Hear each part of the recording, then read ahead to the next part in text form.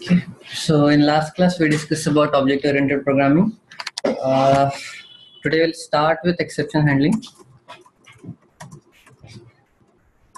and then we'll see XML, JSON, and then Vue also.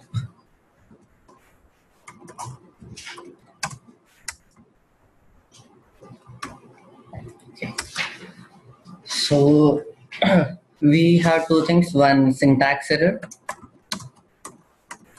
And second is exceptions. So syntax error something you are writing something wrong in terms of expected syntax. And python shows an error. You're writing something abc you miss this out. It will throw this kind of error so you have to correct it unless and until you correct it, Python will not allow you to execute correctly. And the second type of error is your exceptions. So I'm saying print name. Now in this case, I'm not defining this name. So you can see this is giving me something called name error. Or let's say I'm trying this 10 divided by 0. So it will give me zero division error. Okay. Let's say you have a list. And for this list, you are saying that print me the 100th element, which does not actually exist. So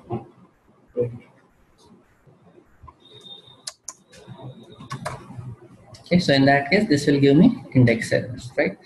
So you can see all these exceptions are at the end you will find error. And all these exceptions are defined in this particular built-ins so if you want to see this you can say print dir of underscore underscore built-ins underscore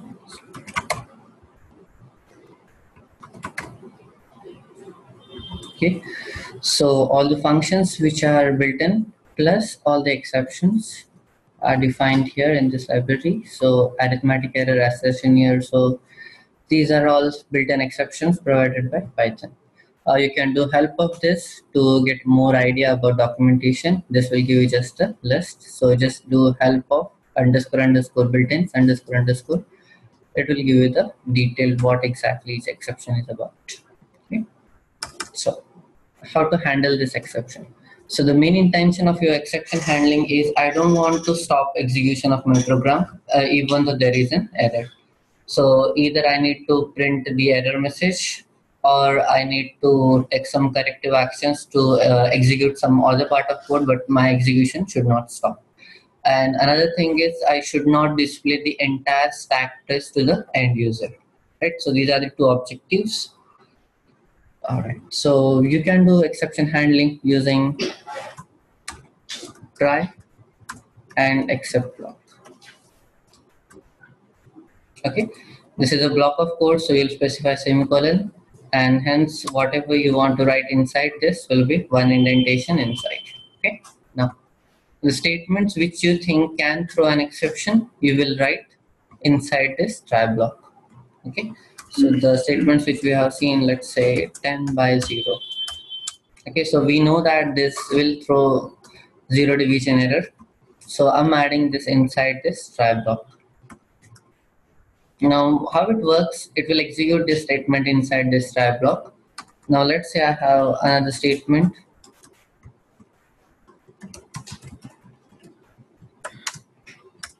Okay, so it will execute this. Now it will encounter an exception. So if there is exception, it will directly jump to the except block. Okay, it will not execute the next statement. Okay, so here for now I'm just saying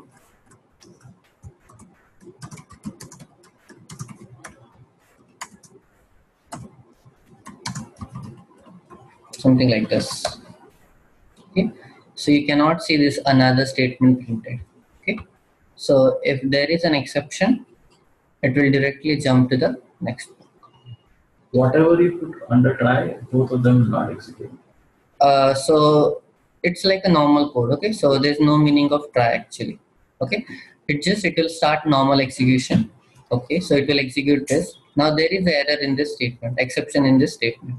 So if there is an exception, it will execute this. There will be an error, and then it will directly jump to this except block. It will not go to execute this particular statement. Okay. Except if you have any other uh, blocks, it. Yeah, yeah, yeah, yeah.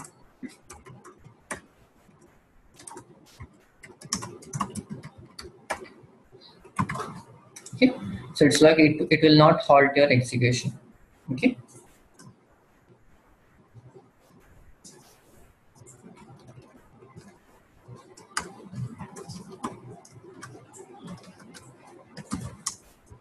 So I'm saying two exceptions here. Now here I'm not defining this name thing. Okay. Execute this. But as I said, so it will execute this part. There is an exception. It will directly jump to the except block and it will me, give me this, right? Let me correct this for now. Okay. So it is executing this correctly. It is actually giving me the exception because of this, but it will execute this. There is an exception. It will go here and it will print this particular statement, right? But now you can see this statement is not making much sense because I'm saying there is exception in name, but still uh, as error message I'm getting, you cannot divide it by zero. So if you're writing exception handling in such manner, you are not making it easier to debug. Okay.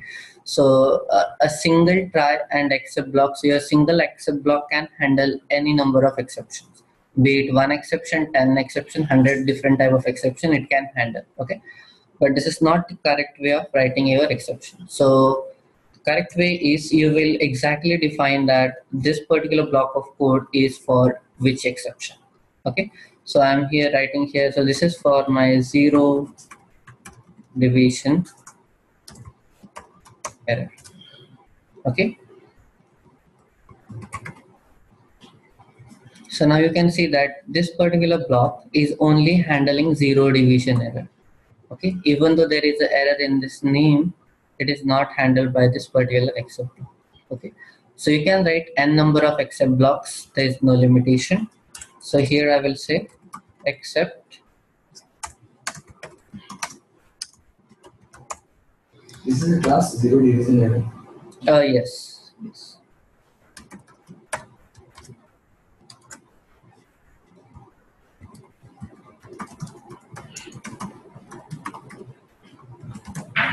Okay. So now this is executing this variable not defined so now if i go and make a mistake here it will not show me this. It will just show that okay you cannot divide number by zero and it will execute after exception. Okay. So correct way of writing your exception you will write a try block your statements which can throw exception and uh, the the, expect, uh, the exceptions which you are expecting you will write multiple except block for that okay? And at the end you will write one except block that even after identifying n number of exceptions still there is something which you haven't handled and that got executed then you can say this that okay runtime exception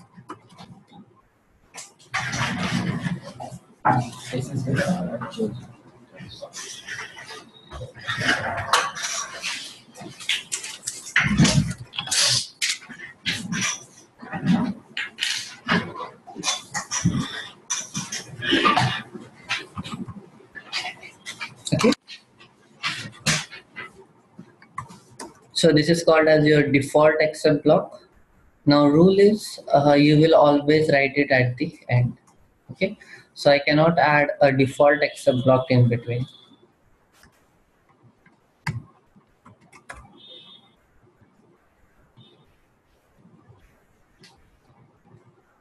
okay.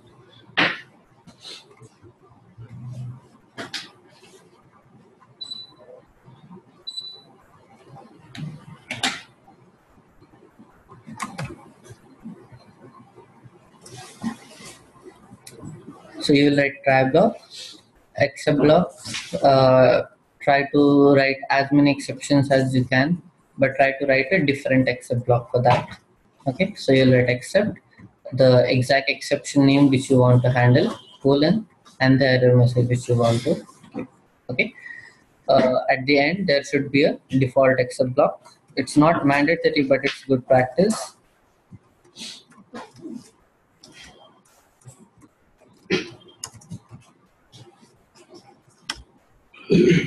Okay. Now,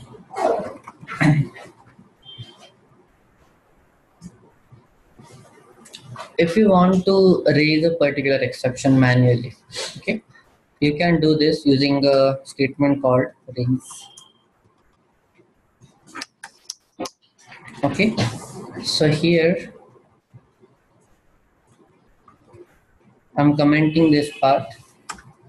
Okay, I'm saying raise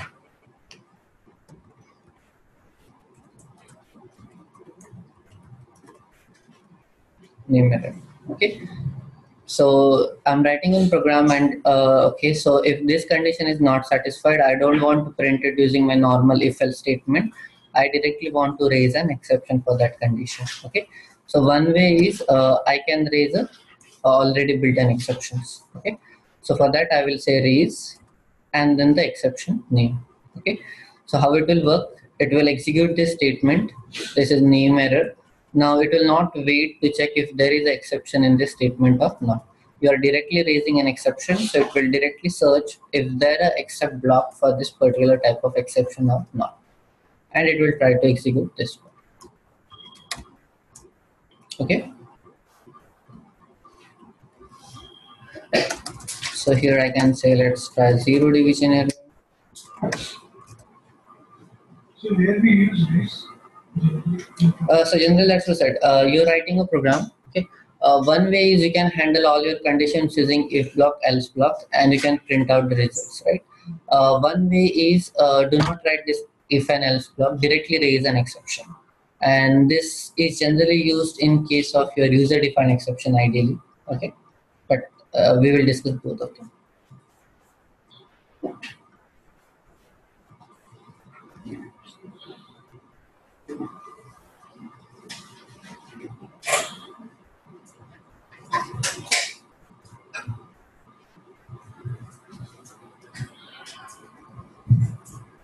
Okay. So this is the raise statement. Uh, so we have seen how to raise a built-in exception. Okay.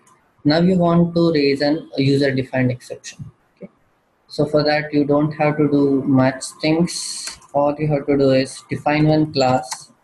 Let's say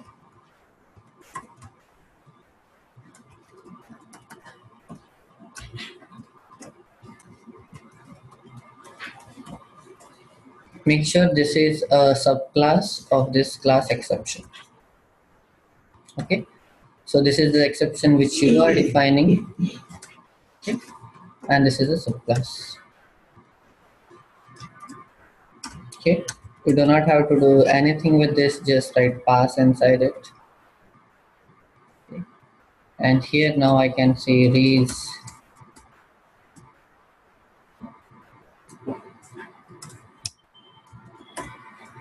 my exception okay? Obviously if i'm raising any exception i need to make sure that i'm handling this exception right?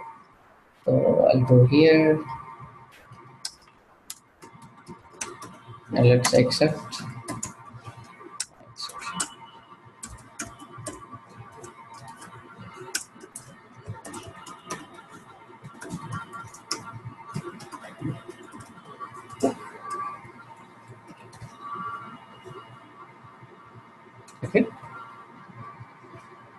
so you just have to create a new class. Um, it should be subclass of this particular class called exception.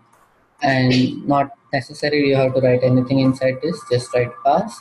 And using your raise statement you can raise this particular type of exception.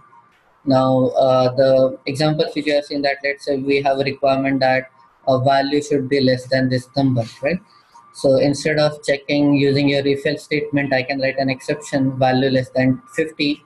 Uh, if value is actually less than that, I will just say raise value less than 25 exception, something like this. Okay. Yeah, yeah. So I'm writing a different class. Let's say value less than 50.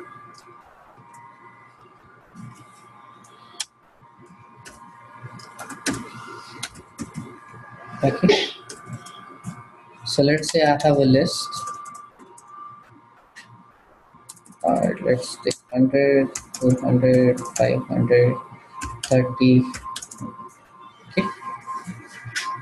So I just want to make sure that all values are greater than 50. Okay. So I need to iterate over this to check.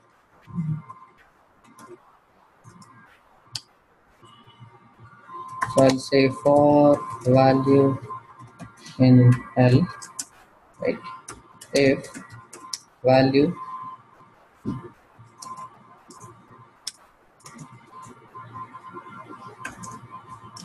here I'll not print anything or something. I'll just directly raise value less than 50 exception.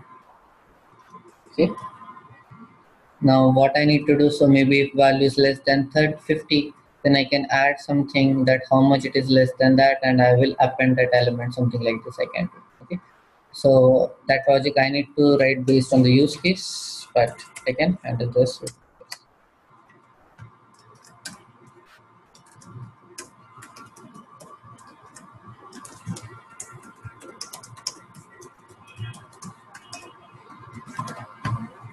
Okay, something like this.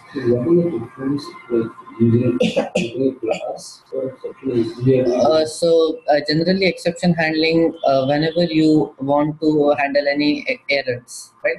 So whatever programs which we have seen that okay if this is error also we are just neglecting that part right? So we have built-in exceptions which will track your errors. Plus you can define your own errors that the standard practice is you will def- uh, define a separate .py file in which you will write your all your exceptions. Okay? And you will uh, import that class and you will use this exception for your user defined errors. Okay? We definitely need a class. yeah for yeah for this for this. There will be some container function as well. yeah I- okay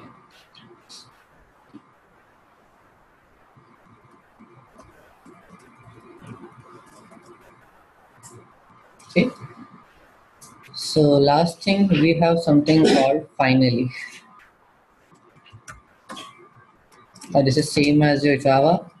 The finally block will get executed regardless. There is exception or there is no exception. Okay? So this block will execute will get executed always. Now this is generally used whenever you're working with your some resources let's say file or a database connection or a socket connection and once your operation is successful or not successful you have to close the connection. Okay? So in that situation you can write that particular part of code in your finally block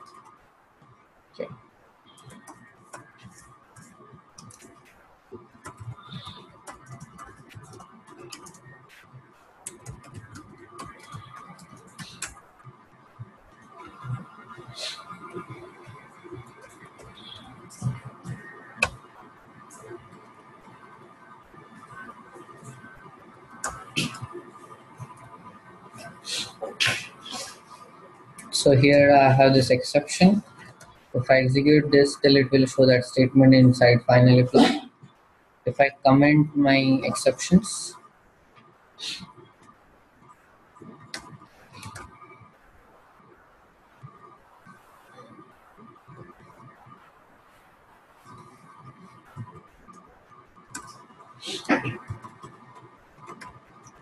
okay, still it will execute statement inside this finally. Okay. So we have discussed generators. No, uh, if the exception is not handled, then also finally will be executed Yes, yes, or error will come. yes.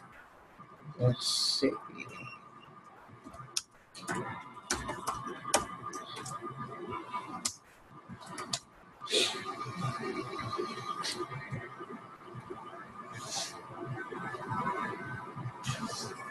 so we are handling this. Yes. Uh, Out of index.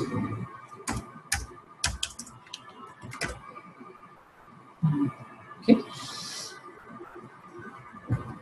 Actually, it is getting, uh, going into, uh, into default one, right? Uh, Just remove the default.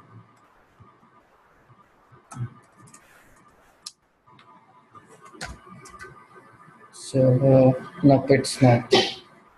It's not. It's stopping there only. No, no, it printed, as yeah, finally, First, first. Acha. So it's printing, And then we will. then giving that stack trace for this. Acha. Uh, we have seen generators. Generators throw one exception. What is that?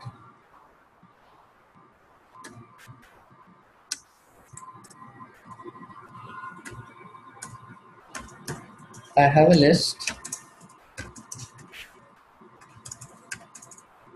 I'm writing one function.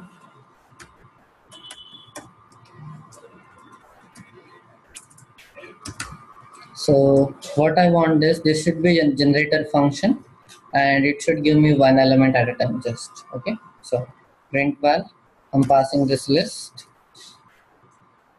Okay, I'm saying this is a generator.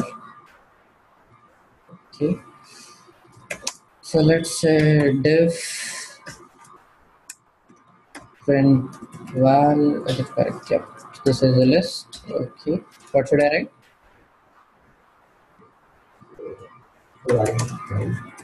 Yeah. Mm-hmm. Print.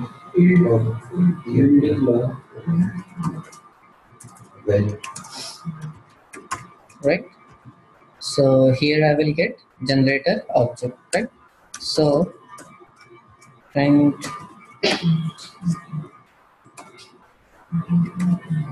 okay, so I have this 10. We don't know how to do it, uh, but, uh, 3, 4, 5, right? we got it. Okay, so this is fine.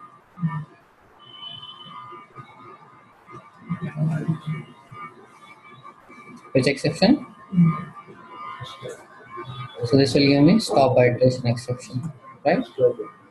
So best way to write this, try all your statements because you don't know at what exact statement it's gonna stop. So I'll just say except stop iteration. Okay, don't write anything, not required. I just want to stop here.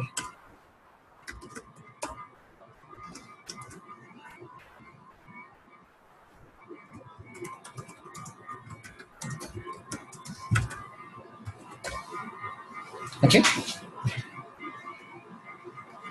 So, um, in regular Python for all the exceptions, there is a separate uh, module where all the classes are defined. Exactly. So we have that underscore underscore built in from which everything is defined.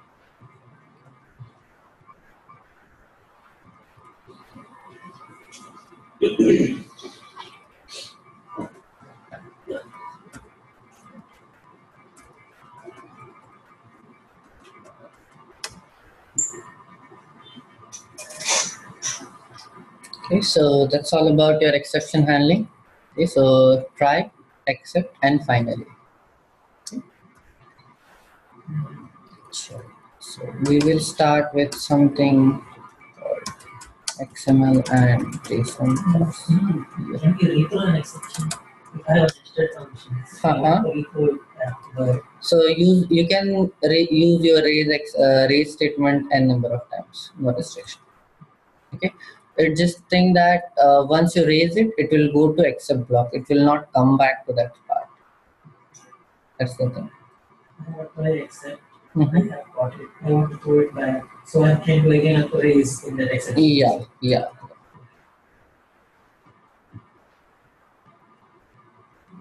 Okay. So, any more questions? So for you, we will have a separate lecture for generators.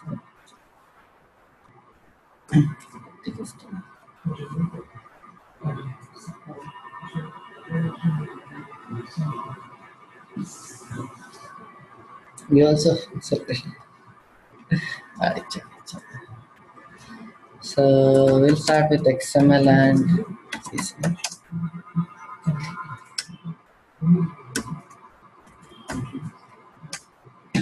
Any idea why XML and JSON is used? Configuration. Mm-hmm. So when XML got incept, uh, so at the inception of XML, the plan was it will replace HTML. Okay, but it didn't happen. Uh, it is mainly used whenever you need to transfer data between anything between two servers for your configuration files uh, be it your client server architecture, be it your server server to server communication, be it your microservice architecture, XML and JSON are widely used. Okay, reason they are used uh, very lightweight files. It will not put any burden on your servers. So that is the main reason of using XML or JSON. So few uses XML, few uses JSON. Okay. So XML and JSON are getting very popular in your microservice architecture okay reason the core concept of your microservice architecture that uh, i will interact with some third party who is good at developing something else. So i'll not invest much on working on that. So let's say your payment gateway system that it's not our specialty. So we will just uh, take it from a third party and we will transfer the data in format they need. Now generally uh, for that purpose your xml or a json will be used. Now, if you see the format of your XML and JSON, it will only contain data. Okay, it will never contain any functions or something, no logic. It will just contain the data. Okay, so for your server to server communications, uh, this is widely used. So we'll start with JSON. okay and what is this topic so we will be parsing the json files using python okay so the use case is not uh, to send a file or a receive a file json file. The use case is you have a json file. You have to uh, make some changes in that json file quickly and then you have to send it back using any socket okay? So the the main part of changing the json file that you can do using your python okay? Again yes when we discuss socket we can go through that okay? Sending is also possible but for now. Uh, we will be focusing on how to parse and how to make changes in your json file okay? So before going into that let's have a look uh, at the json syntaxes okay? So json syntax and python syntax. Okay so strings which we have in JSON are strictly into your double quotes. Okay, mm-hmm. yeah. Here in Python, a single quotes, double quotes, and triple quotes. This is also valid one, right? So we have something called array, which can contain, which can store multiple elements same thing we call it here as list okay we have something called tuple in python.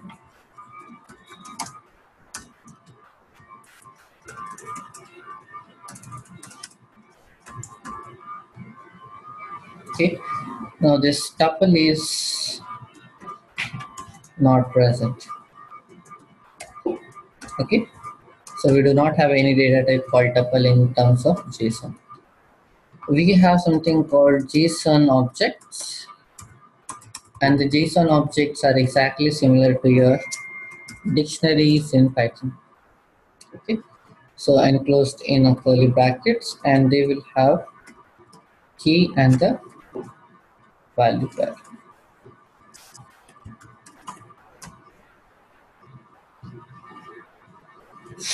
okay so integer float we have at both places so there's nothing extra so supported by both.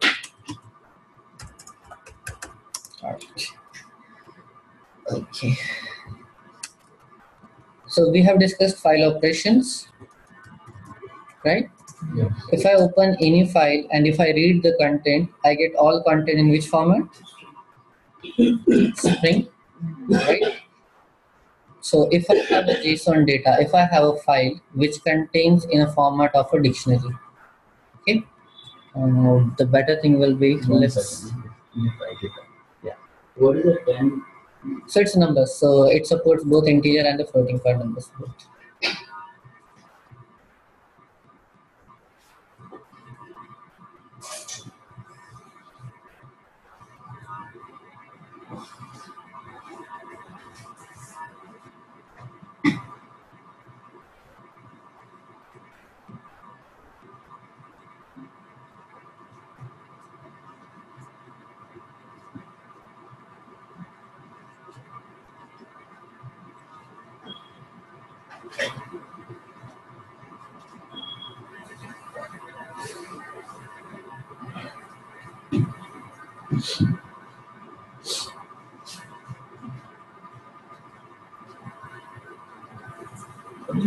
76. Yeah, so this is numbers. So we have integers and floats here. Same thing is available in JSON also.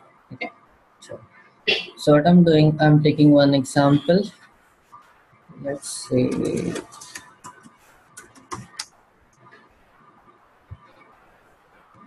Alright, so you can take the same example. So it's official site of JSON. So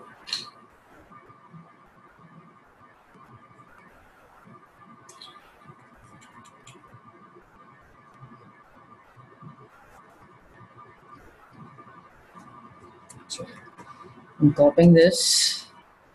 I'm creating a new file. List it here. And save it as. Uh,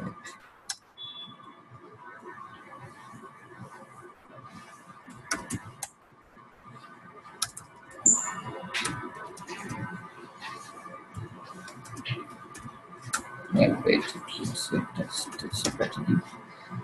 Dot JSON.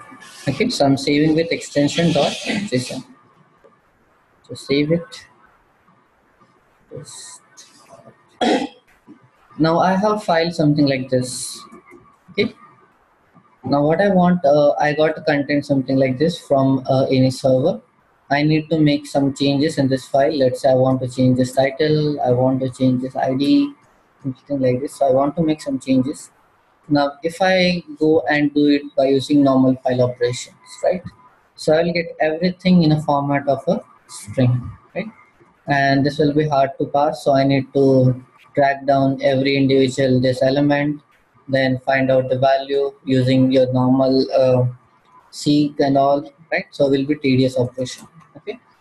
So Python supports, so Python provides one library. And what that will do, it will convert your entire JSON file into Python equivalent format. Okay, so in this case, everything is your uh, dictionary, right? So it will defaultly convert entire thing into Python dictionary. And if it's Python dictionary, then obviously you can access it using your keys. So you can modify the values, you can store it back, and then maybe whatever you use case, send it back to do anything with it okay? All right so got the use case? So for that first thing i need to do is import json.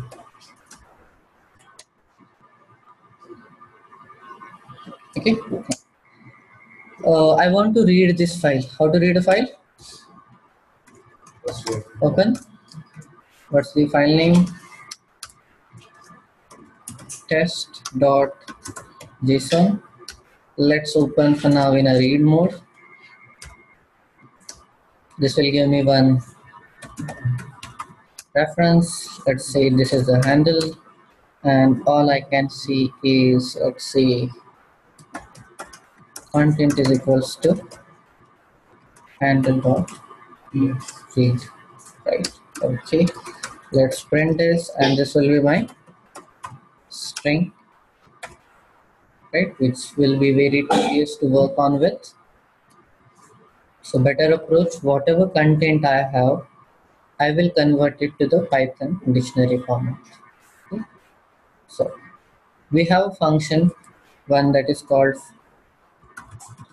loads what this will do, your JSON data to Python dictionary. Okay. So all I can say is here, let's say dictionary I want. JSON dot loads okay. So whatever content i got i'm just passing to this method loads okay you can do this in a single line also but i just keeping it separate. So yeah This loading class method. Yes. Yes.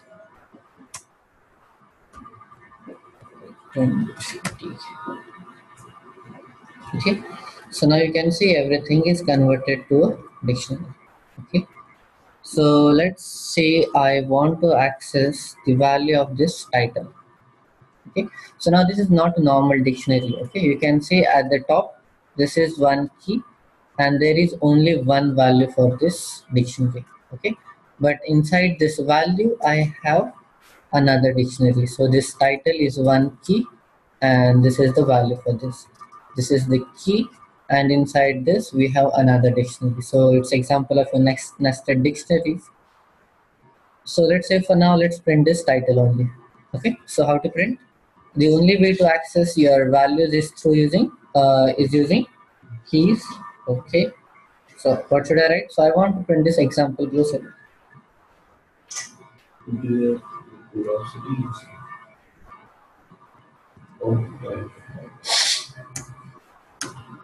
okay. So now if i print this i will get the entire form title and everything. I want title.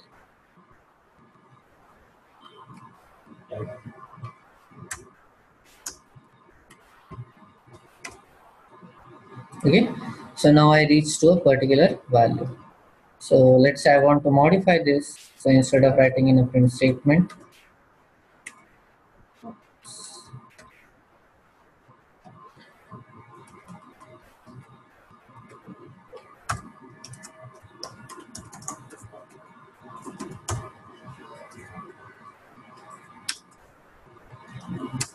now let the print now let's print a dictionary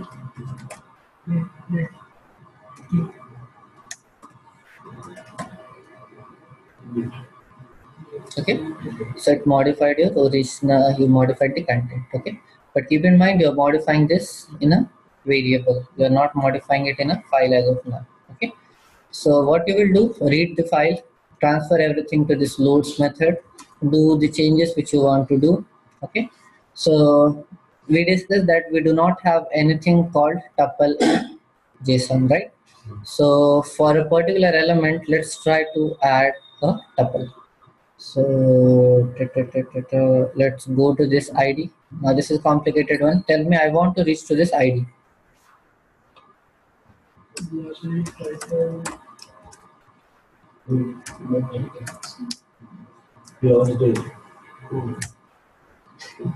okay so and then velocity. And then gloss and all right finalize i'm just copy pasting it okay so i did glossary next glossary okay gloss div all right Mm, Gloss. then gloss entry Yeah. No, no, no, no, it's less. uh,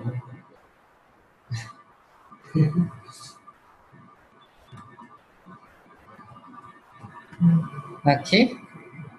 Now for a gloss list, we have this gloss entry.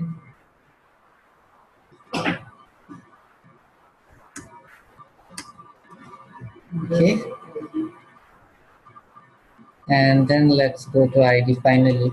It is look it looks like this is too long, but just imagine doing the same thing with the normal file operations. So, so I'm printing this everything, that's why. So, okay. Let's store some uh, tuple value for this.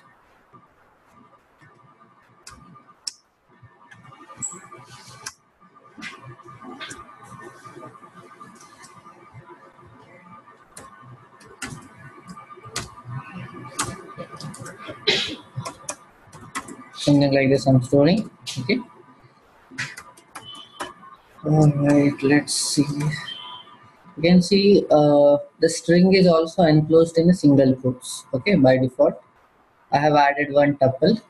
Okay, but I said in case of JSON, your string should be in double quotes. I do not have anything called tuple. Okay, so now I have this dictionary in D. I want to convert it to the JSON format. Okay, so we have discussed loads, which will convert JSON to dictionary. We have something called dumps, which will convert dictionary to JSON. Okay. So I'm just saying this is my JSON file. I want to say JSON dot dumps of t.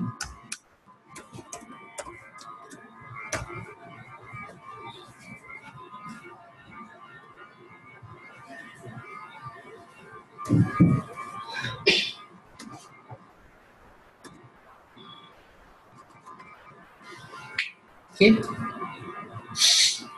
So you can see a strings converted to double quotes. The tuple default converted to the array. Okay.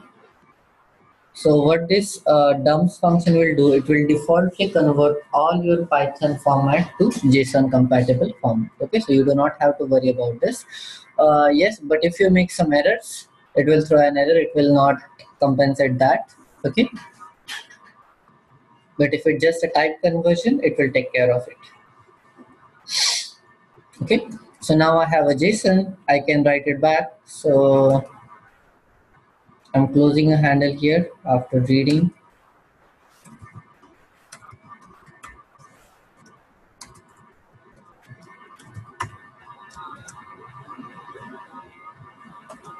So now I have the JSON. I will say handle is equals to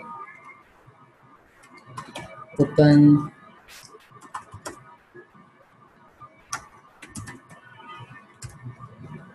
I'm intentionally opening it in a write mode so that my old content is flushed and now say handle dot.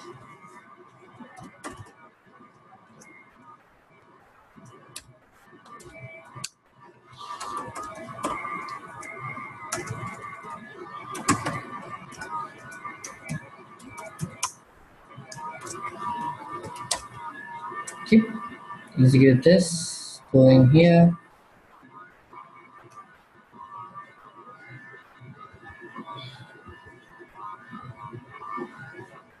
a border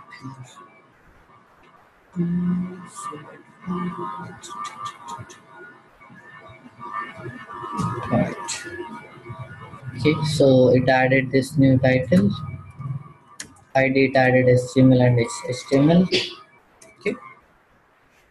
If you get XML or a JSON file, you can use this only two methods. One is loads, which will convert your JSON to dictionary, and dumps, which will convert dictionary back to JSON. Okay, so that your opera- operations will be faster to.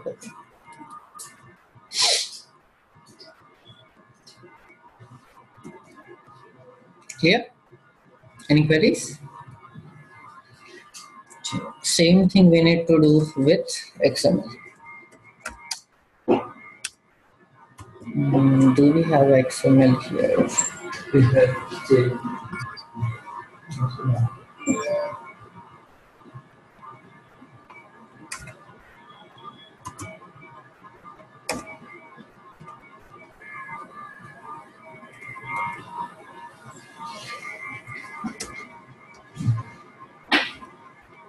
J. Will the stop? Mm, let- let's see if it marks the this.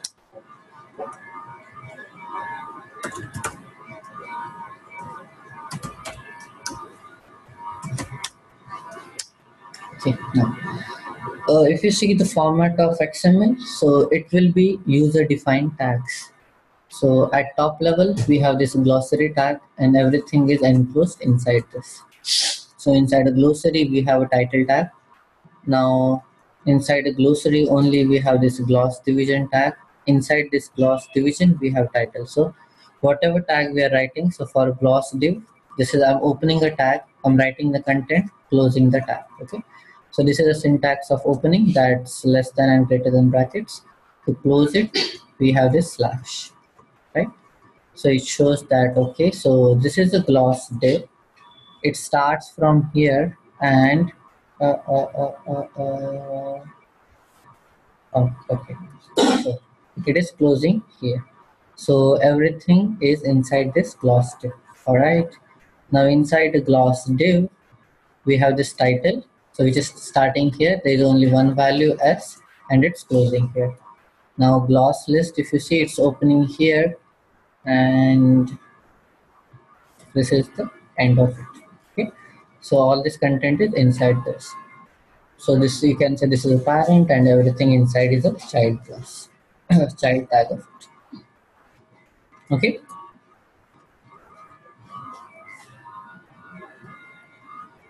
So I want to access this. Now for that we do not have any built-in library. We have to install one. So go to your command prompt and hit pip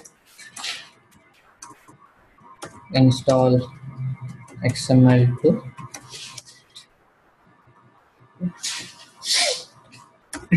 Let me check, do I have it?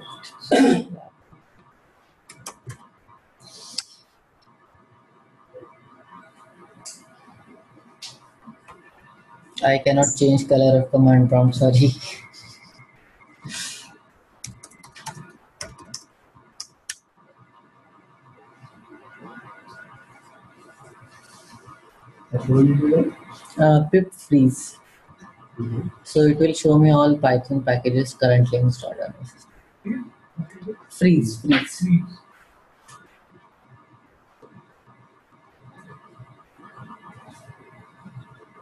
But instead of showing packages, it looks like it has frozen my screen. oh shit. Okay.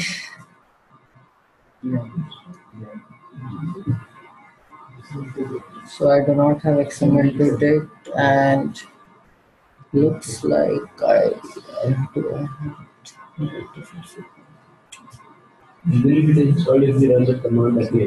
uh, it, will show that okay so all requirements are fulfilled.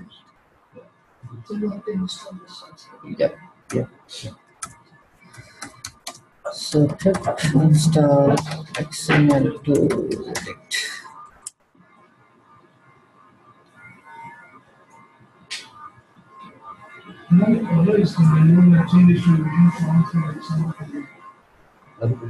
connect to internet? Are you connected to internet?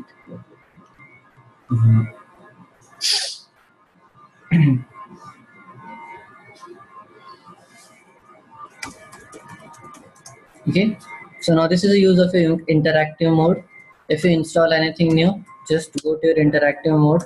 Just try import xml to dict if this work is installed fine then we can proceed. Install XML2. uh, pip install xml to dict okay. Once this is done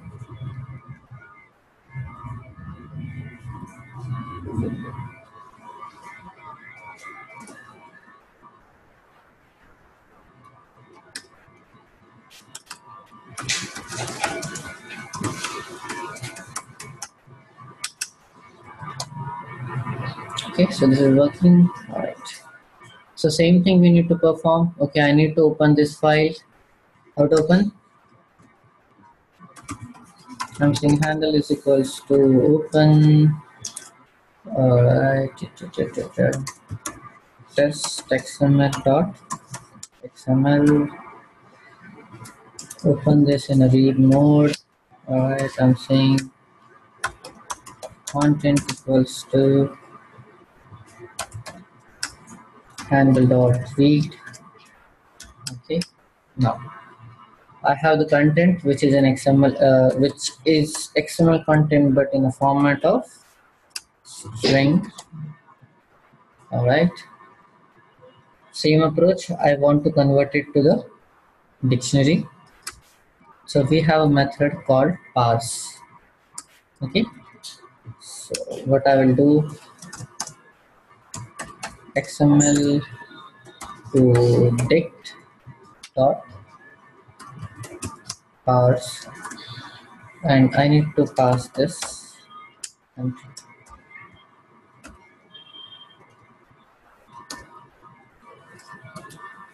So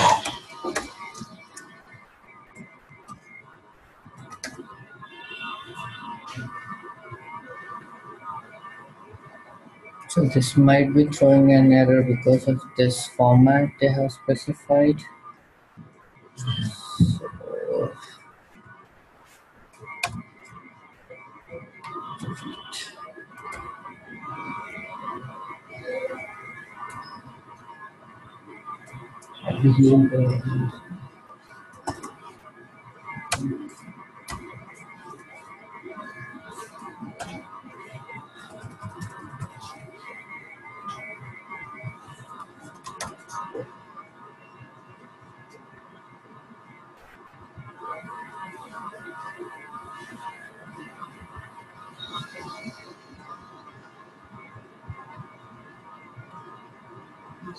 so now it started throwing error. Better approach, take different examples. anyway, it's okay. Mismatch stack line number 13, column 7. Gloss div. So they are opening it here, they are closing it here. Because we don't need indentation also, so this glossy also they have opened it, they have closed this. Uh, para they have closed. Alright, I'll remove these two things. Let's see.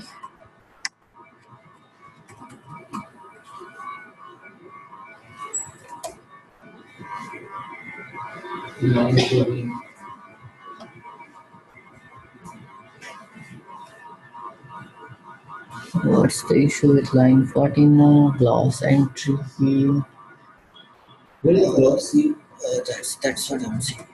Because they have just defined this, they haven't closed it.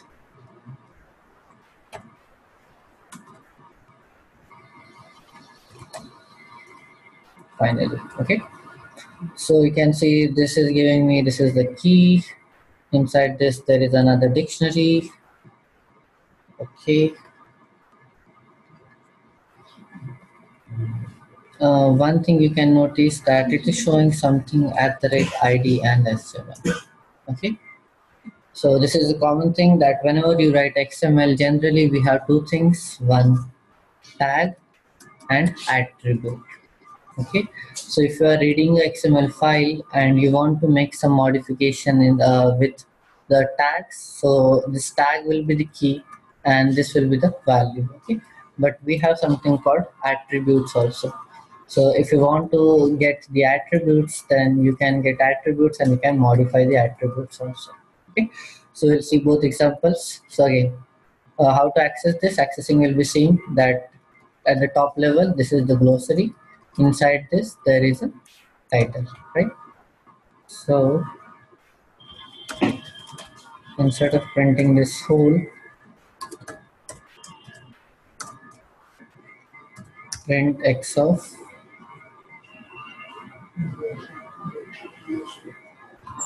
velocity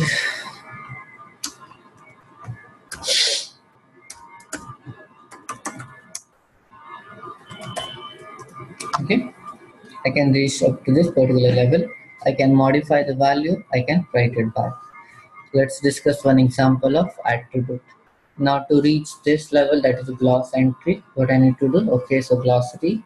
Inside this gloss division gloss division then gloss entry.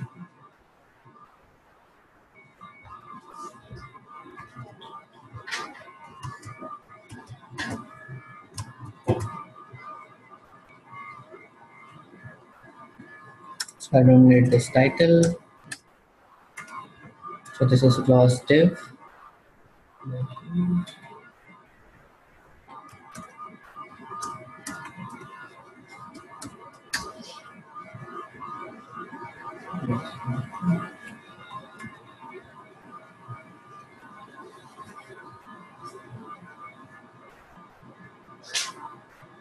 So Yeah, now I tell so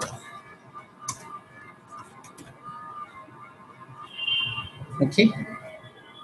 So this contains entire new dictionary. Now I want to this attribute. So you can see it is stored as something called at the rate attribute. So if you want to access any particular attribute, you will specify at the rate and that attribute called. Is it uh, Which one? No, it's a dictionary. It's a dictionary. Uh, which one? Uh-huh. So you can see the this is the ordered dictionary. As we are reading a file, uh, so if you see the normal dictionary type, is something I cannot predict what will be the position of key and the value. That is a separate data type it's storing into. Okay.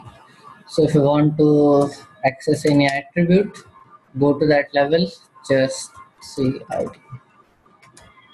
So now you can access this attributes also. Okay. So just specify the tags, you will get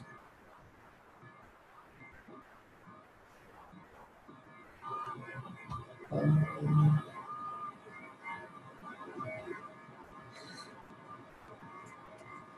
Tarun, is it working now?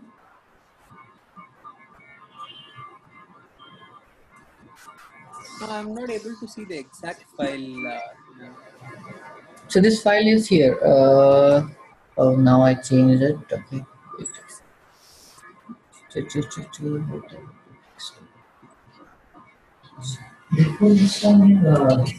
Yeah, now, now, need to install an XML package. Because before installing this, it install XML to dict. Uh-huh. we need to install an XML package because in the error so there's no module in XML.parses in that uh, XML.d. So XML dot did uh, got installed successfully. Uh, when you're importing it, is it uh, is it showing error? I just did an import and try to do scheme error. Uh, just do import. Uh, remove everything else. It should work. If it's working, then there's no problem with your library. Then it should be something with the next line. By this. Okay, so this is my XML.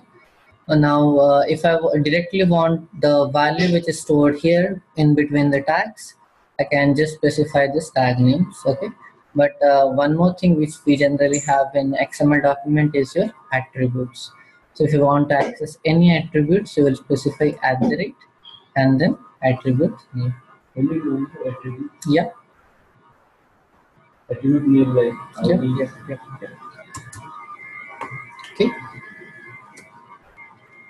So I reach to this.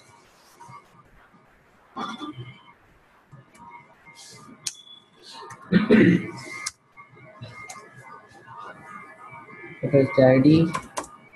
Sorry. Okay, save it.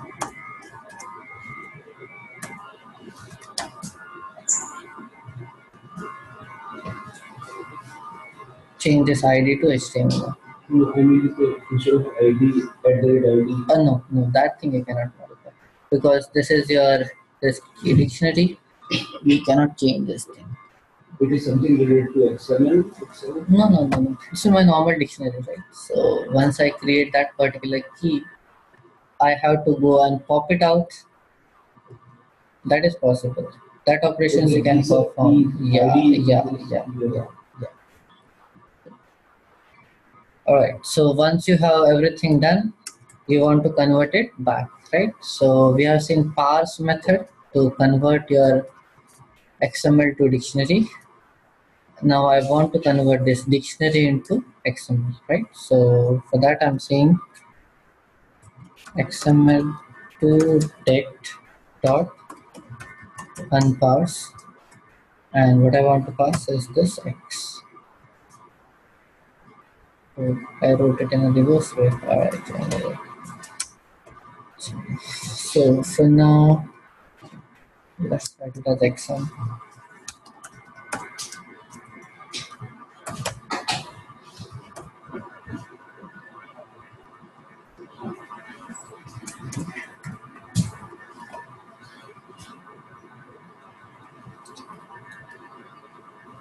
So it will convert it into proper XML format now. You can say, I guess it should have changed the ID. Where's the ID? Yeah.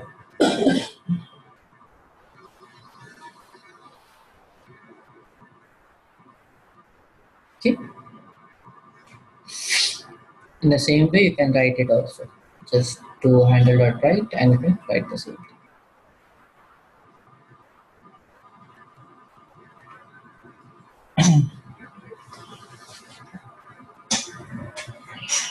This within 600 or the index. And Can we delete that gloss entry, Which one? gloss entry just before I do it ID? Means you have changed the value, but Uh-huh. want to change the key. Which Yeah, yeah, delete. yeah. So it's it's my dictionary now. All operation which I can perform on a dictionary, I can perform here. That's possible. Okay. Uh, but uh, whenever you're working here, right? So you have to make sure. Uh, otherwise, it's gonna uh, cause you that uh, parsing errors. So you have to make sure that whenever you are uh, deleting directly the key, so all the elements inside it should be in a proper order. Okay. So all the dependency should be resolved, even if you're deleting this, then it's fine. Okay, but it works, no problem.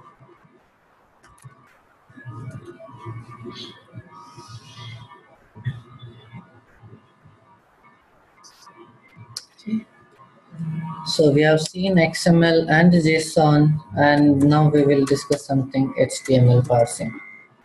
Okay.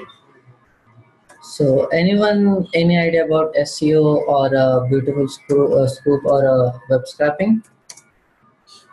Search engine. Mm-hmm. Mm-hmm. All right. So HTML parsing comes in your web scraping.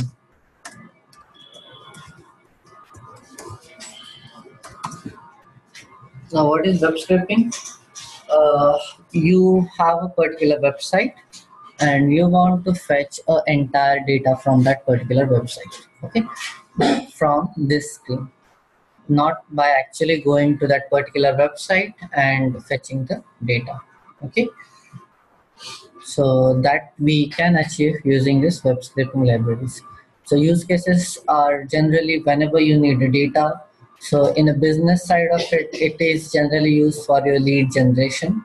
So for your sales and marketing team we have various sources. We have Justdial. We have a lot of different sources something like this. Uh, going into that particular website each time copy pasting the entire data is a tedious job okay?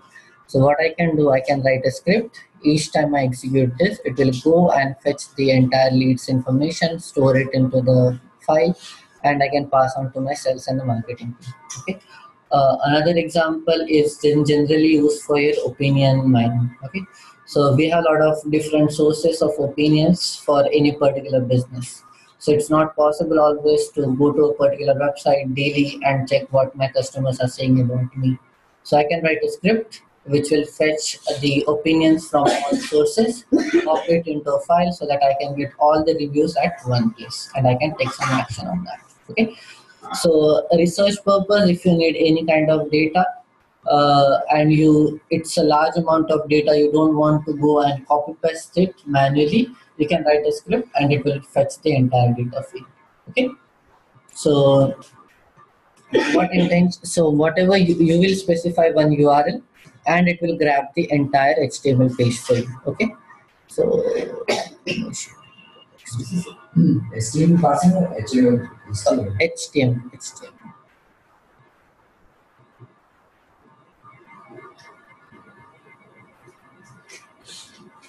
okay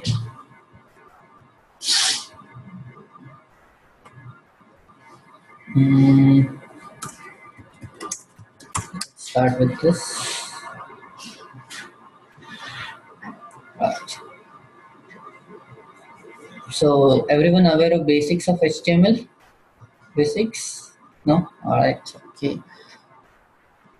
so whatever is displayed a particular web page everything is a html page okay so how it works whenever you make a request your web browser is making the request to the server and a server will send a HTML page for this. Okay, so whatever you uh, so th- this thing is complete HTML page. You can see the entire code. Just right click and view page source. Okay, so this is entire HTML uh, page. Now, basic syntax of your HTML document.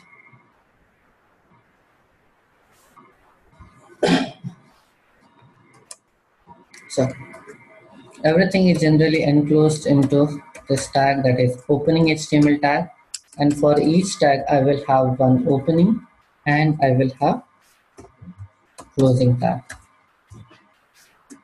Okay. So the entire document will start with its opening HTML tag and uh, at the end there will be closing HTML.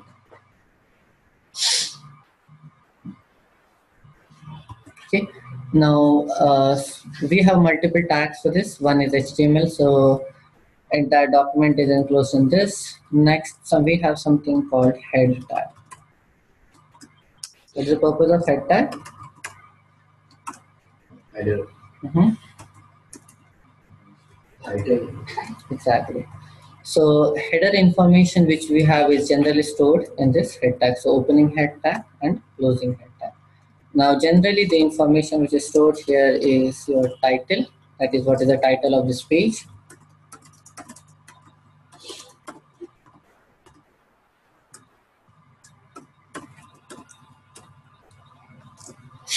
Okay. Then we have something called style uh, tag.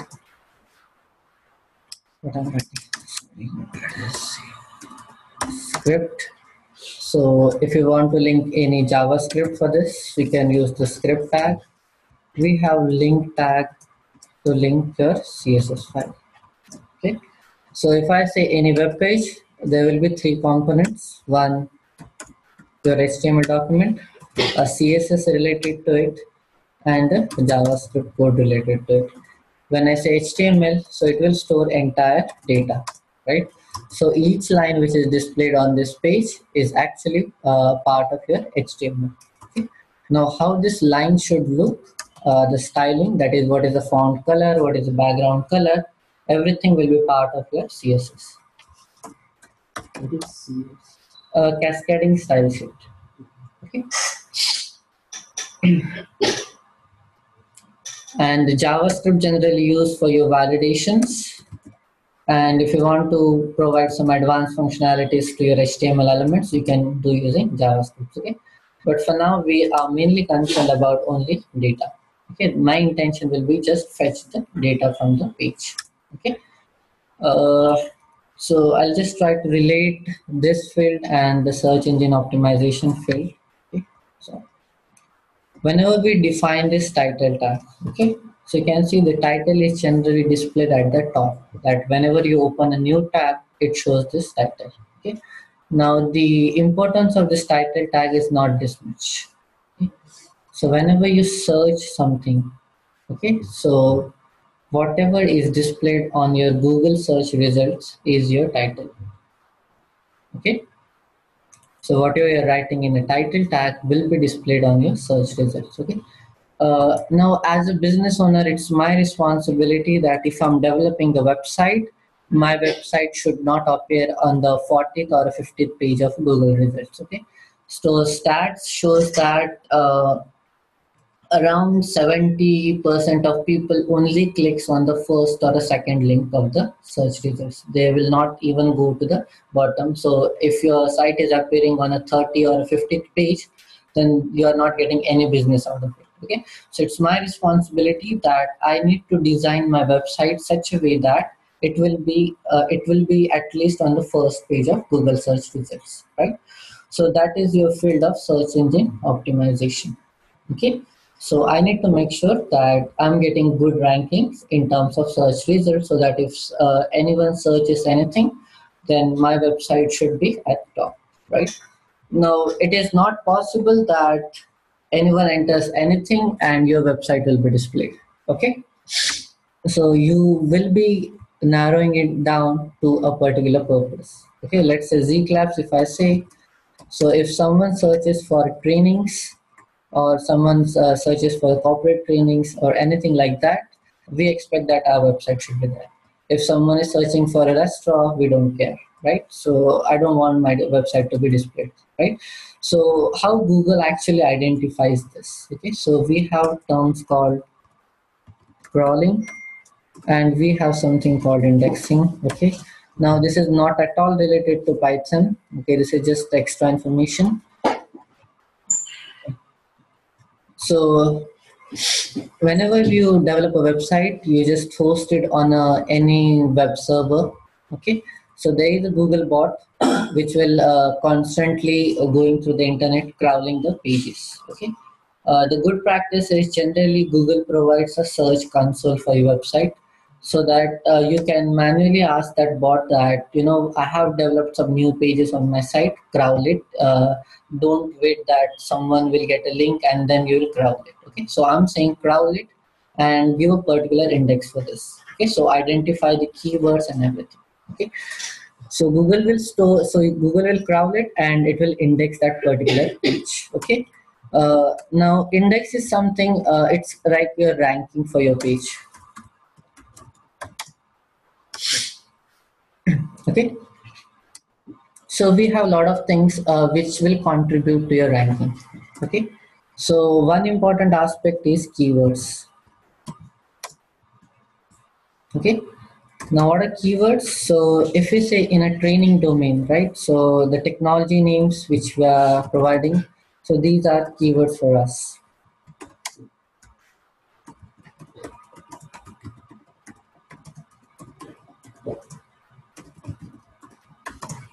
okay. So what google will check so the it's google's responsibility that it should always show some relevant pages only right? So that's why we have a lot of algorithms uh, which are at google side and google will never disclose what exactly this algorithm is okay? Uh, we have an entire industry uh, search engine optimization industry which is completely working on assumptions that okay this is the current trend in Google. Okay, entire industry is working on that. This So- keep on changing very Exactly, exactly. So if you talk about trends, so it started with keywords. Okay, so first important thing Google started with that uh, if you are developing a training website, uh, your website should have a lot of keywords related to training, right? So it will check how many times this keyword training is getting repeated on your page. Okay, so because of that, uh, there is one technique called keyword stuffing. Okay, so you might have encountered this thing whenever you try to download a particular movie. Okay, you'll land up on a site which contains only keywords. Only links will be there, no data. Okay, so this is uh, something called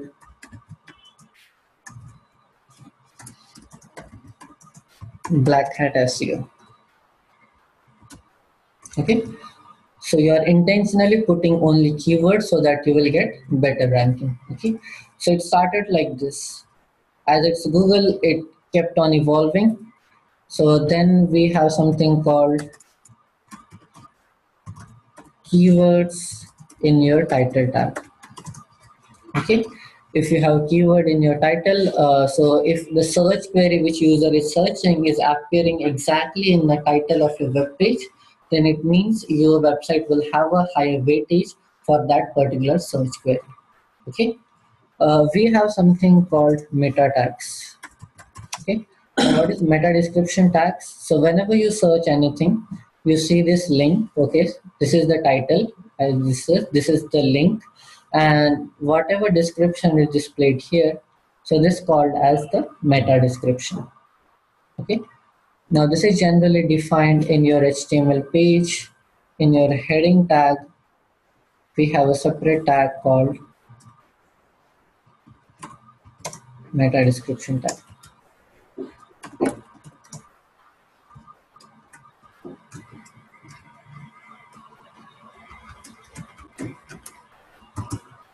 Okay.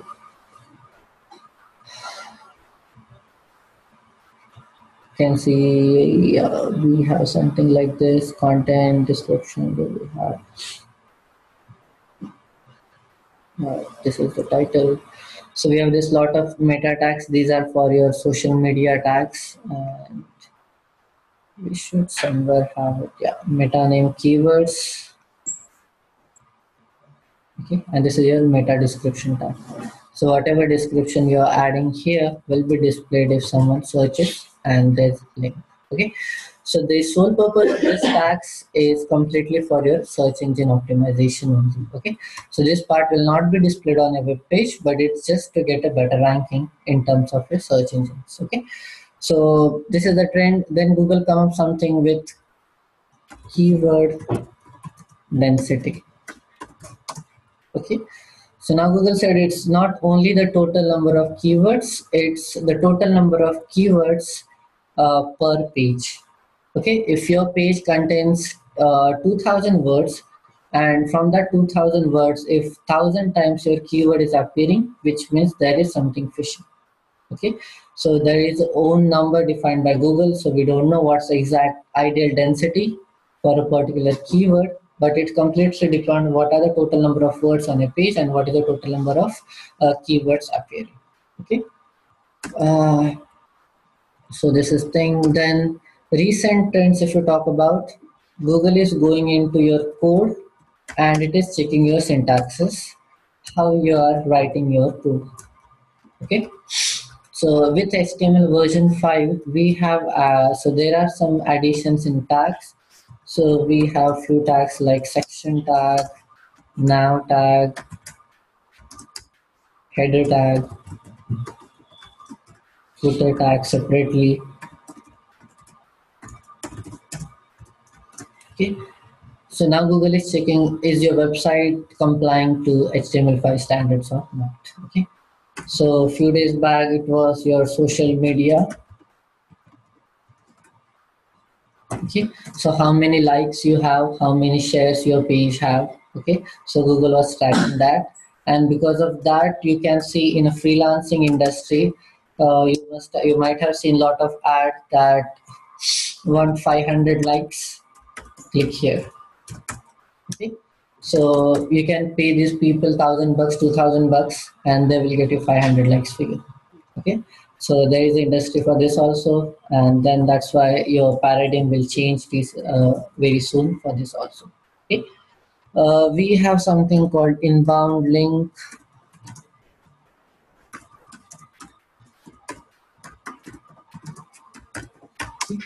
so how many links uh, other websites are uh, providing for your web page okay? And that is the main reason you must have seen when you go on quora uh, if someone posted a question people will write an answer and at the end they will say okay this is our website they visit here okay? So the pur- purpose is not to take that person to their website. So that's one purpose. The second purpose is get an inbound link for your page which will improve the social uh, social uh, indexing ranking okay. So inbound link is something how many links you are getting from different website. Outbound links means how many links you are providing to others. Okay. More inbound links you have you have a good ranking. More outbound links you have uh, your ranking effects okay. Basically, in your website, you should not give other websites. Yeah yeah. So because we have some of them uh, they will just uh, write content and there will be a lot of outbound links right? So that will hamper your search engine optimization. Okay. Mm, then we have something called back through rate. Okay.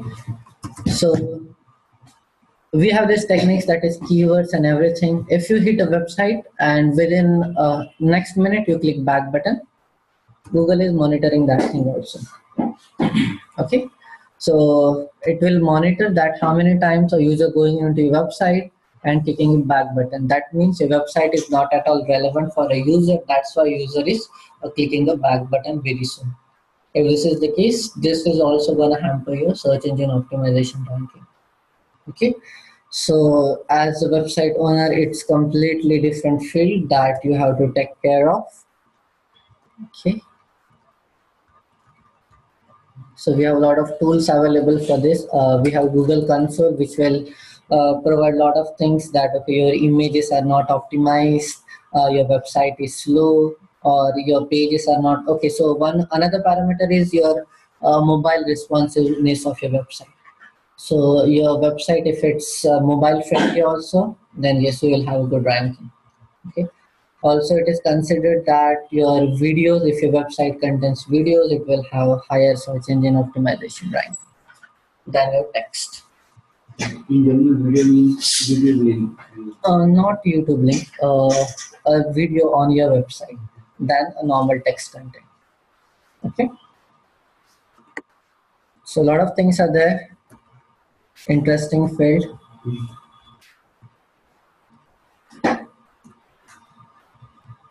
okay all right. So everything. So whatever you're specifying inside this header tag is generally for your search engine optimization okay? now the main important part of any html page will be your body.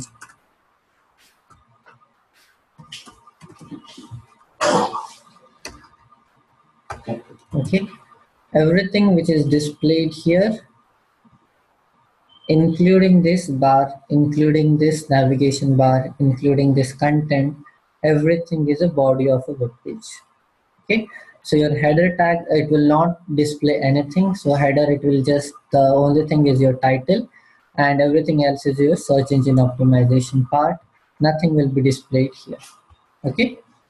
So generally uh, your body contains a lot of different tags something like section okay. So you can say this is one section. Then this part is second section. Now this course offering is a entire third section. Okay. And then we have a footer. Okay. So we have this corporate section. So if you have such things so it is generally defined a one section is defined in this particular section tag okay. So entire thing you will write this opening section tag and closing section tag okay so you can have multiple sections here. So this is section one this is section two.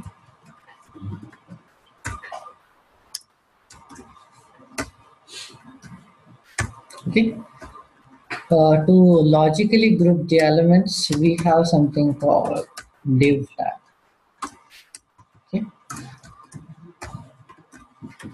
so inside this div you can write anything. So if you want to display a text a paragraph tag is used. This is sample text okay? Uh, whenever we see a link on a web page okay? In the background it is written something like this. So we have a tag called anchor tag so anchor tag. So this is the actual text which is displayed on your web page and this is the closing tag. Okay? Exactly. Now if i click here where it should go. Okay? For that we have an attribute called href. Okay? Here i need to specify that if someone clicks here where it should go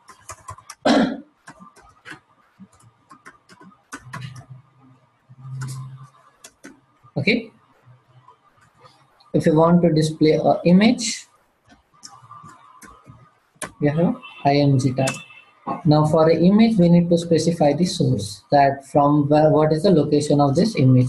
Now the source can be your local system or you can directly copy paste it from any internet source. That is also fine. Okay? So this is the image tag and there will be this src attribute for the source. All this comes under body, right? So, yeah everything will be under body. Okay. Uh, we have heading tags which will start from h1 to h6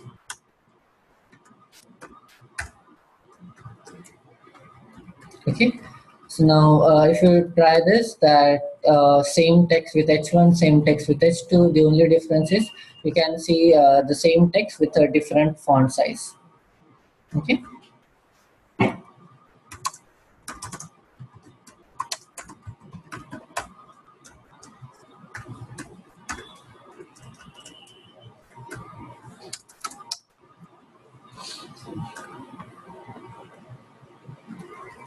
It looks like we already have created this. So why not?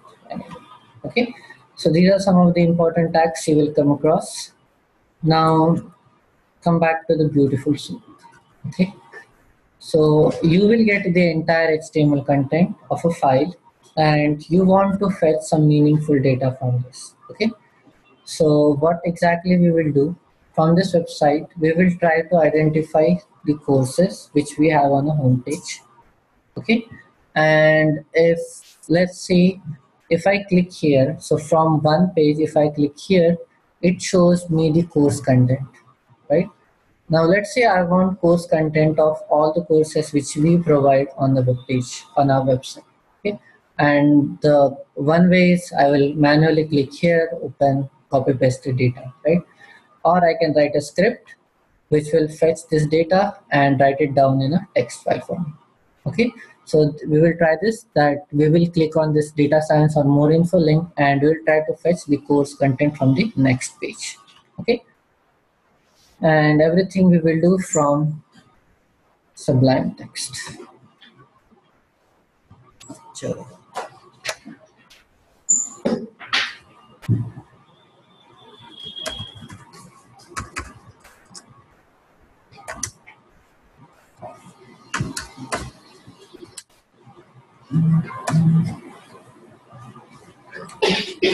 Uh, for that, we need a library. So we will need two libraries. One is requests, and second is beautiful.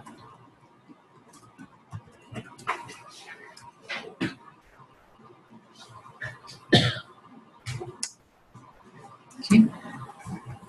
So to install this libraries, go to your command prompt again and type pip install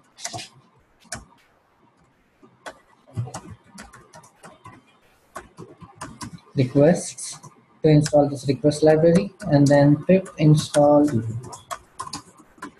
beautiful soup 4 okay let me see do i already have a request also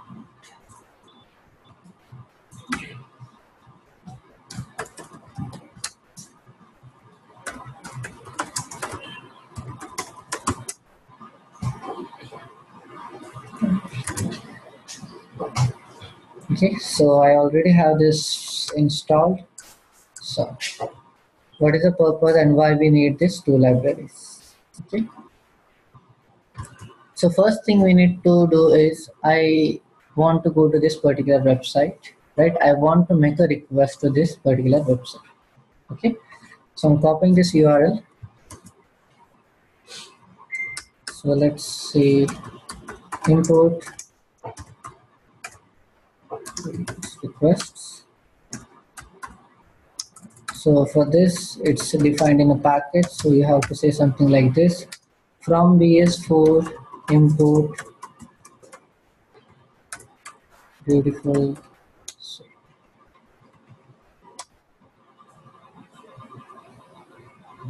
Okay.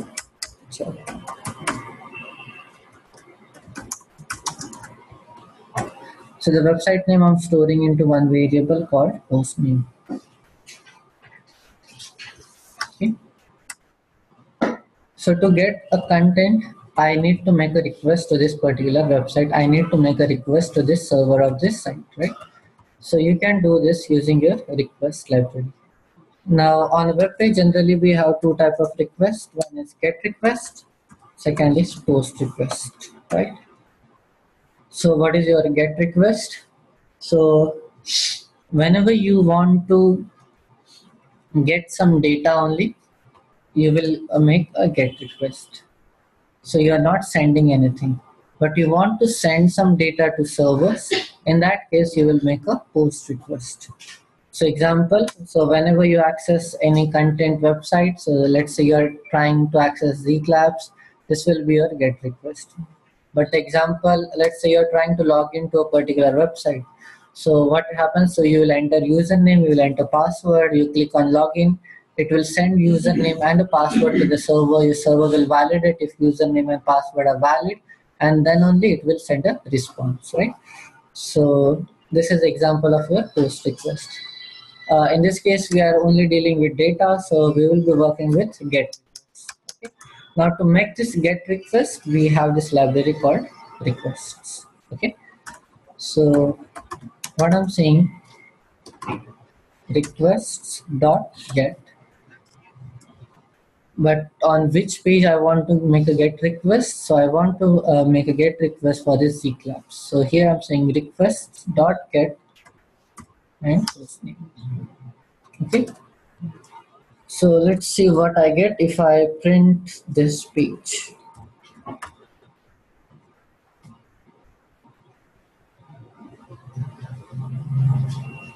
Type of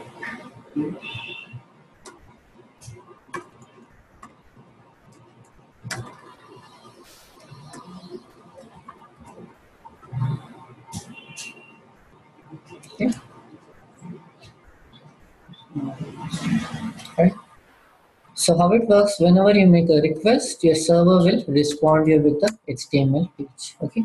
Now when we printed this, it showed me two things. That okay, this is a response object and with something called 200. Okay. Now whenever you see this 200, so the meaning of this 200 is this is a success response. Okay.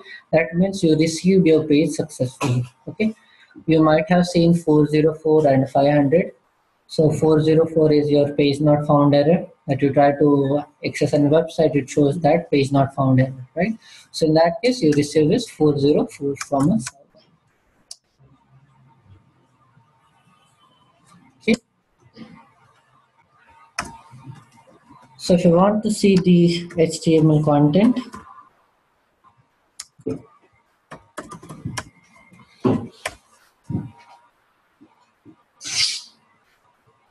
okay. So from that page now it has fetched the entire html page for you.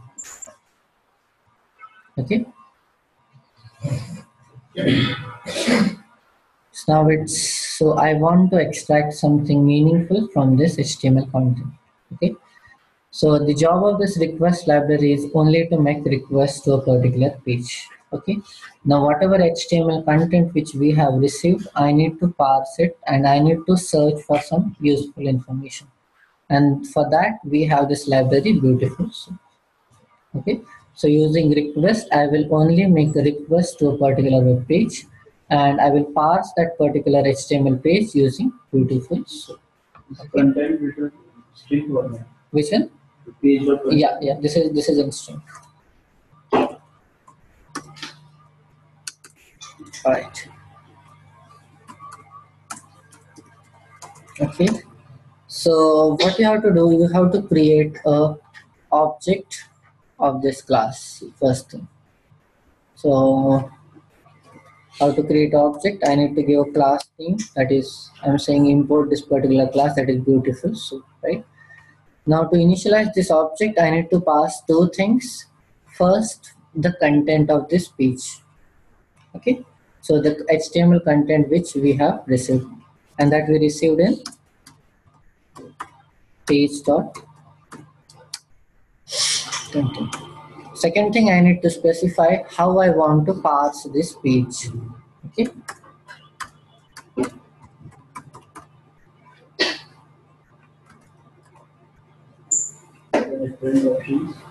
So we have xml parser. So we have lxml parser here but for that we have to install it separately. By default it will come with your html parser only. Okay? So this is html page and i want to pass it as a html document.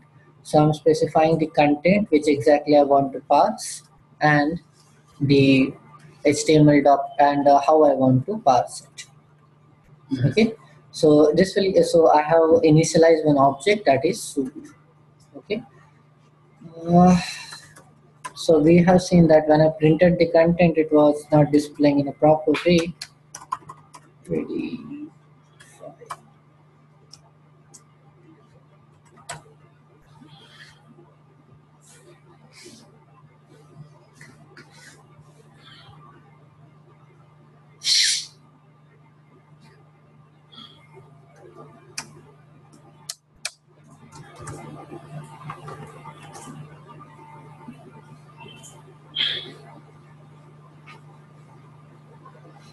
Okay, so now you can see this is my HTML content. Now it is displaying in a proper way.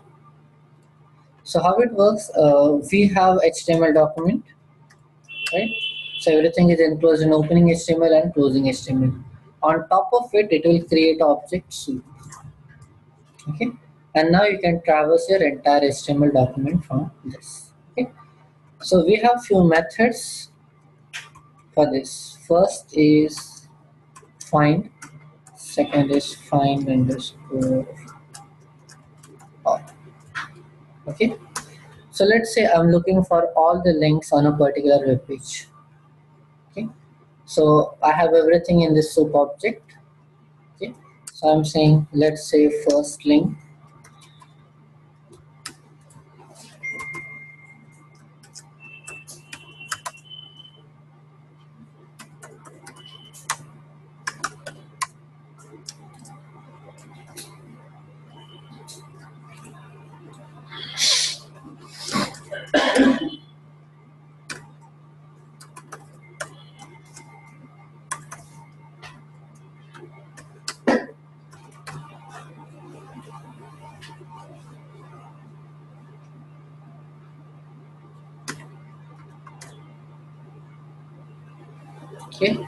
so we have this method called find. So i got everything so i initialize this object with soup now from this html document i am looking for the link. Now what this find method will do it will search for your first link on your web page okay? And it will return everything. So you can see that it's enclosed in opening anchor tag and closing anchor tag right?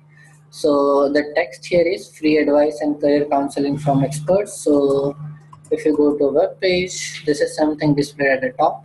So this is the first link on the web page. Okay. Now it actually fetched the entire document. So if i'm looking for only text which is displayed here so i can just say dot get text.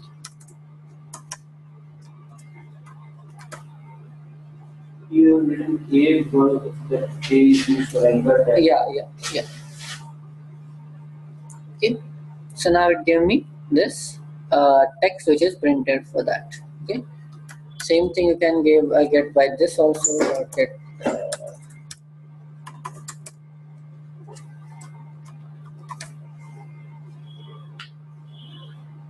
okay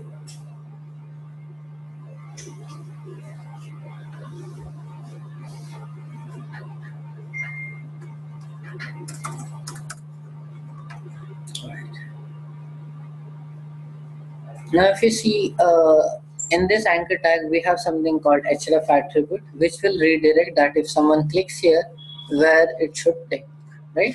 Now, I want, so I started from one, one page and I want to go to the next page, right? So to construct a new URL, I need this href tag. So how to get any attribute? Then we have to just specify dot get and attribute which we are looking for.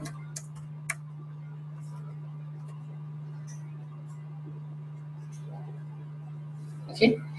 Uh, now generally we have two types of urls one is your absolute url and second will be a complete url so when we have such absolute urls all you have to do is just concatenate the host name uh, and plus this and this will be your new url okay. So if i say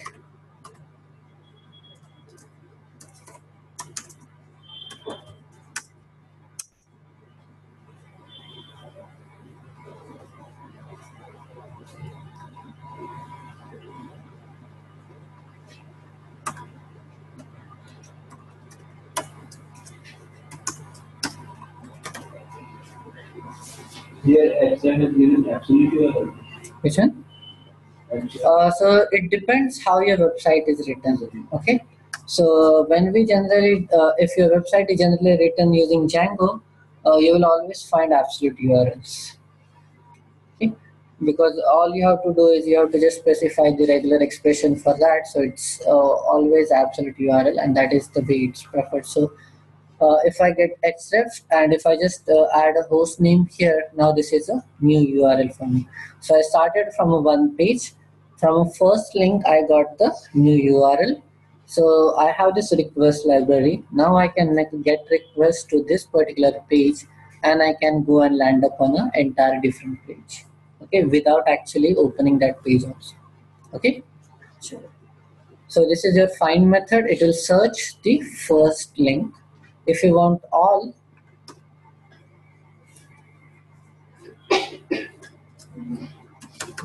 we have something called find all list. Okay, so I'm saying find all, find list, and find all, and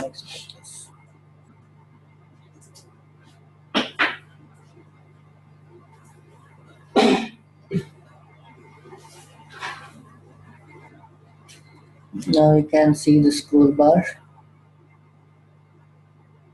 Okay, so it will start from this. So this is your first link. No, to this. No, no, no. Okay, this I guess. This sorry. So this is the first link. The second link. So all links are here. So you can use your for loop to iterate, and in each iteration you will get one link. So keep in mind, if you are using find all method, you cannot directly use dot text here. Why? Because this is entire list and it will it cannot fetch a link for a particular page. Okay. So you have to make sure that you go to a particular index and then get the text out of it.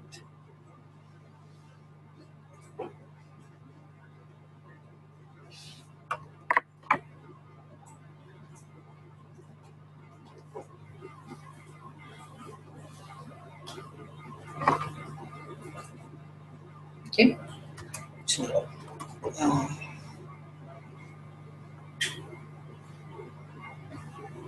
now in this thing uh, your knowledge of uh, how better you can analyze your web page uh, is the key for your effectiveness okay? Let's say now i want uh, all course names on web page. Let's say i want a url and the course name right so first thing i need to check that how this particular web page is actually displayed how it is written. Okay? So for that just right click and click on inspect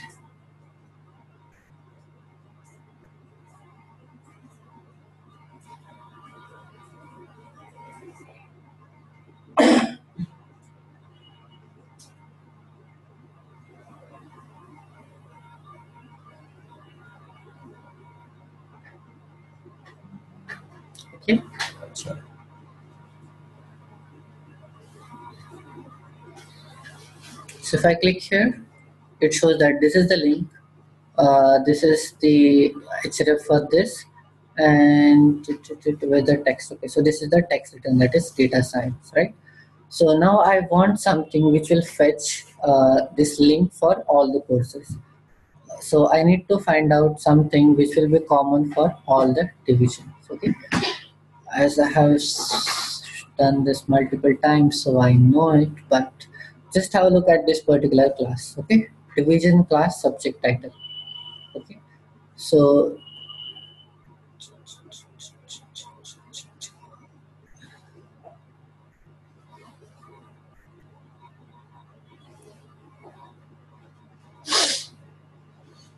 if I click here, this particular course is added inside the subject title class division okay uh, if i go and check for machine learning also.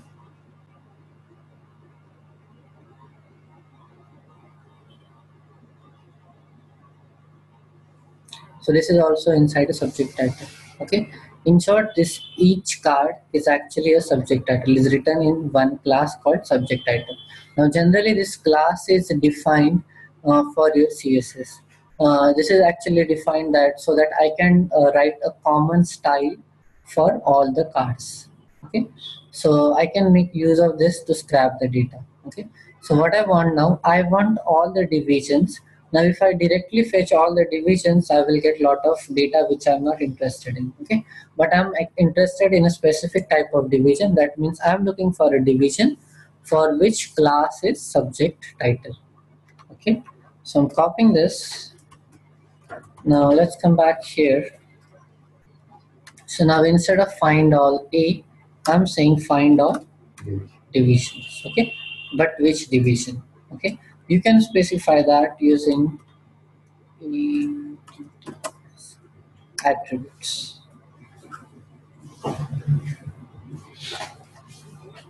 Okay, now this is a dictionary. Okay, so you will say attributes. Class I'm looking for is subject title. Okay, so I'm saying find all all the divisions for which your class attribute is subject title. All right.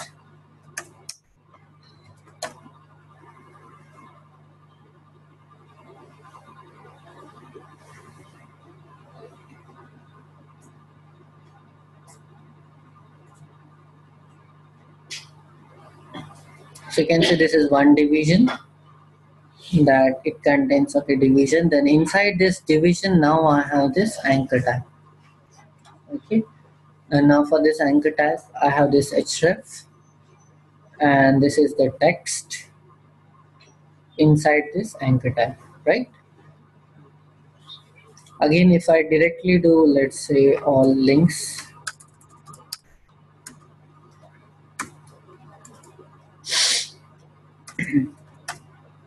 if I directly do links.text, I'll not get anything. So I need to make sure that I select the first one. So we'll work with first one and then we can add a loop and we can do it for all, right? So I'm using, I'm taking the first one, right? Now I'm interested in this link and the text, okay? So to get an attribute, we can use this dot get method. But if you see that we have seen this get method for anchor tag, right? So if we do not have, so if I say dot get uh,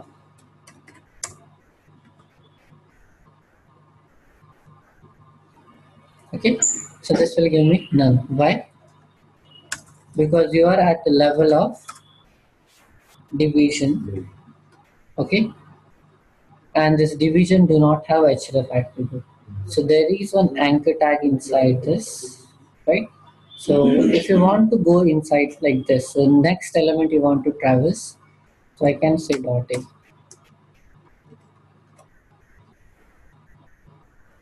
Okay. So now this will fetch me the only this. So now if I say dot get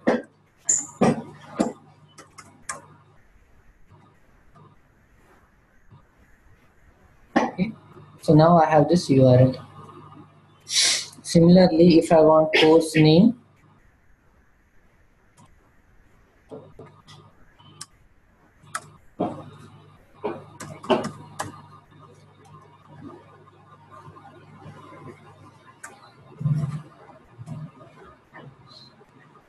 okay. So now, okay, this is showing data science and this is the course URL this, right? So can we do it in loop? So we got all these links. So now I'm saying for value in links. Okay. So print me value dot a dot get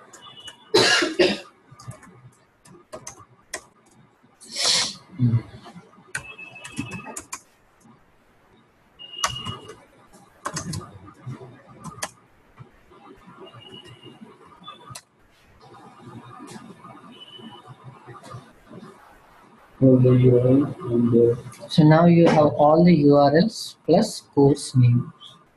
Okay. So as I said, so sometimes you will get absolute, sometimes you will get complete URLs. Okay.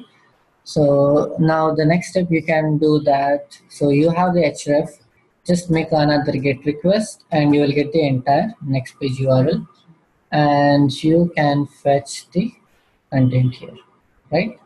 All right, let's quickly do this. So again, I'm commenting this loop. Okay, let's focus on first one. So we can get the URL like this. Uh, let's see. So what we're getting here, is it full or absolute? All right, so this is the absolute one, right? Okay, so I'm saying new underscore URL equals to host name plus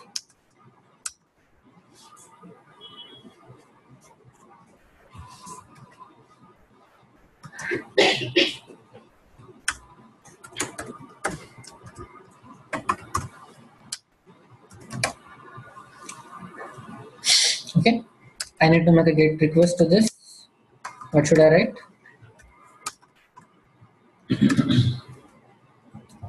So let's say new underscore page equals to requests dot get and I want to make a request to this new URL.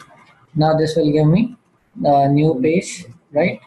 So I am not checking response for this. I'm directly creating new soup object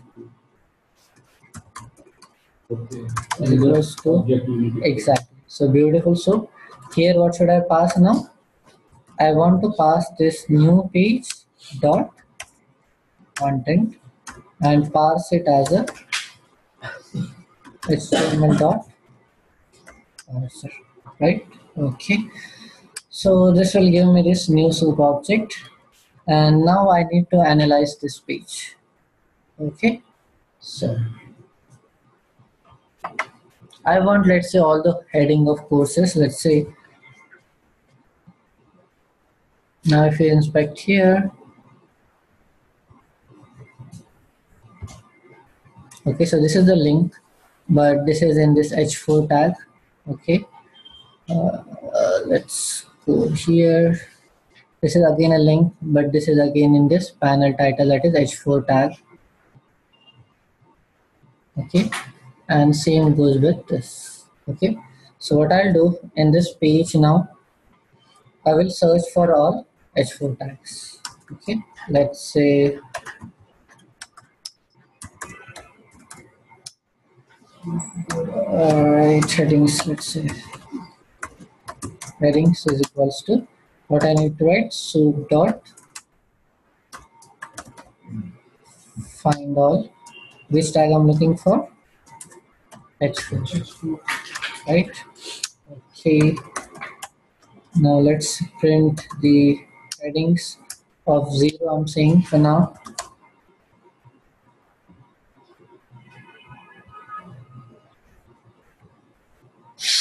Mm, okay, so this is your H4 tag. There is a link, but there is a text here. That is this introduction to NumPy, which is the first topic.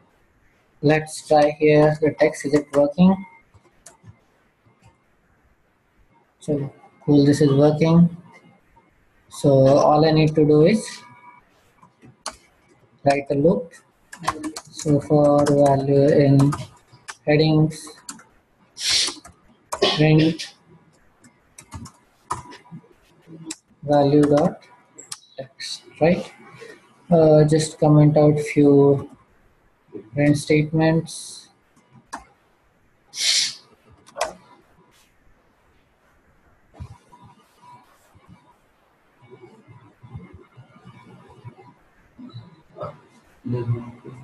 Okay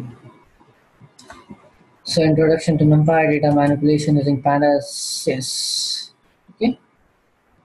so comes under H4, that's all. yeah yeah okay. Now if you think that where is my new page? Okay. So i'm constructing new url from one link right? So from link of zero.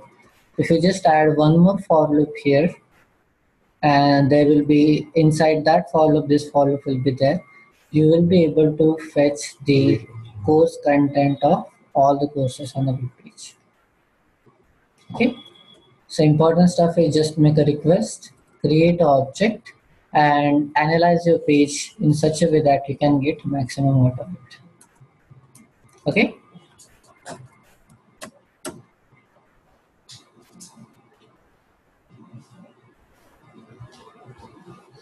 So we'll stop here for today. Okay. So from next week maybe we can start with your socket and threading Oh, uh, decorator is also remaining, right? Okay, so we'll start with decorator first and then socket threading. Okay.